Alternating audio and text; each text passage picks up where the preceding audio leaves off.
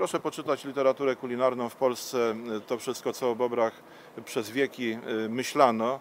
Ja jestem dość sceptyczny z tymi wszystkimi afrodyzjakami, które y, y, ludzie uważają za coś szczególnego.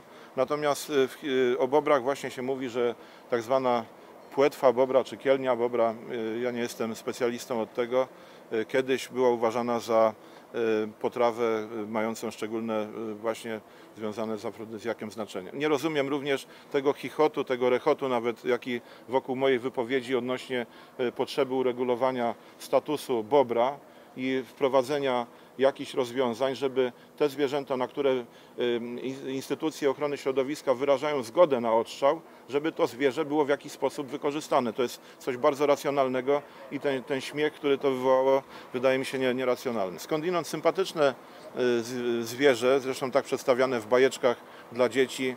Y, Bóbr jest najczęściej wesołym chłopczykiem chodzącym w takich krótkich spodenkach, w, koszulce y, z szelkami. Taki, taki sympatyczne zwierzę. W przyrodzie to zwierzę powoduje ogromne spustoszenie i y, pewne działania muszą być podjęte. Te działania będą, y, są w tej chwili konsultowane, a jeżeli będą podejmowane, to w porozumieniu i w uzgodnieniu z ministrem środowiska.